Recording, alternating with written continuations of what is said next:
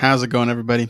My name's Benjamin Anderson, and in today's video, we're going to be breaking down the expression assistant. Now, if you're wondering how we got to this point, I recommend you go back and watch the first video in our expression series that shows, uh, talks generally about what expressions are and where to find them. But in this video, we're going to be assuming that you already know how to do that. Now, one thing you might notice is that my expression assistant looks a little bit different than yours does. And that's because I'm using the QREW Tools Chrome extension, which I highly recommend. Um, this will change a few things, and I'll go over them briefly in this video. But if you want a more extensive understanding of what our Chrome extension can do, we're going to be releasing a video about that soon. Now, really quickly about the differences.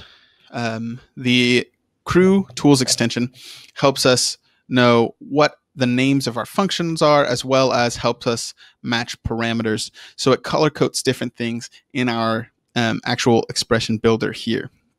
The other thing it does is it makes these links to documentation.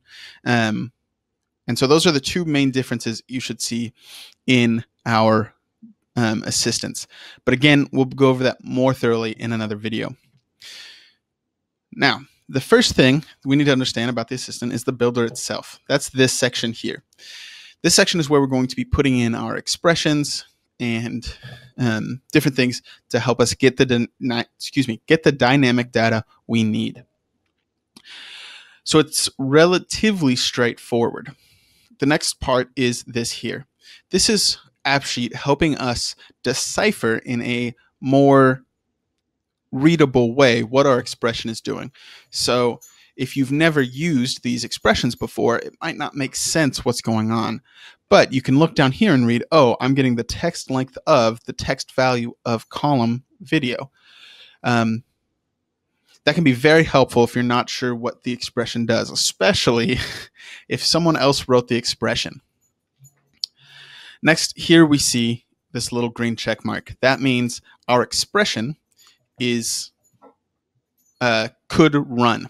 Now that doesn't mean it's going to return exactly what we want it to return, but um, it is very helpful in knowing that you're not missing any parentheses, um, that your column type is the correct column type for the expression, things like that.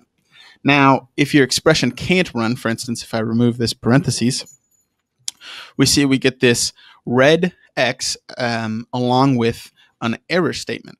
Now, this error statement is telling us that uh, the statement couldn't be parsed because we're missing a parentheses. So we'll go ahead and add that in.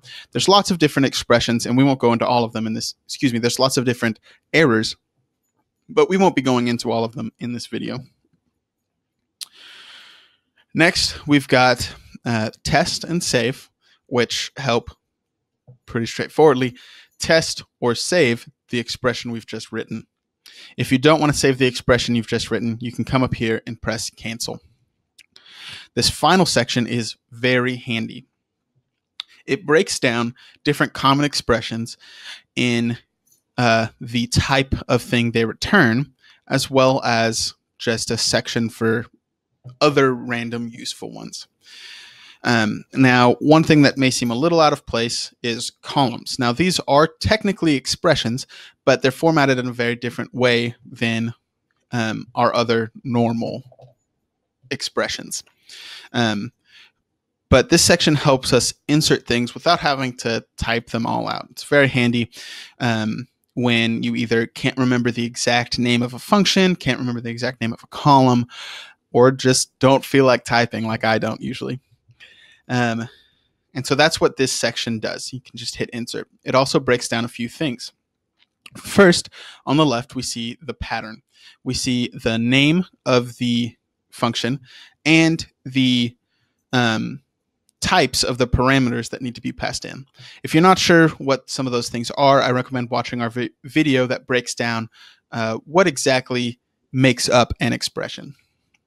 Next, we see the result or the return type. Um, this is going to be important, especially when you're um, needing to return a specific type for a column in your data table. Uh, the result needs to match the data type of the specified column. Finally, we've got an example. Example is, I find, either very helpful or not very helpful. And there doesn't seem to be much of an in between, but it can help um, visualize what the function needs to look like a little bit better. Then finally, the one that is most frequently useful for me, the insert um, ability. Just press it, and it immediately inserts the expression where you had left your cursor last. Uh, so this can be very handy if you wanted to put something inside of another expression. Say I want the length of the left whatever. This isn't a very practical example, but it is an example. We can hit um, that and it inserts it into our expression. Now we can see um, this has updated to show us that we're now getting the text length of uh, the left value of column topic, the first value, or excuse me, the first um, character. Now, this is obviously just going to return one, but um, it shows you the functionality of the insert. Thank you so much for watching. If you have any questions, please post them down in the comics comments and we'll try to get back to you as soon as possible. Thank you so much for watching. Have a great day. At QREW Technologies, we love helping people get great value out of AppSheet. We do that through offering professional services and helpful content like this. To stay up to date, like and subscribe, and we're always trying to improve, so leave us your thoughts in the comments. Thanks for watching.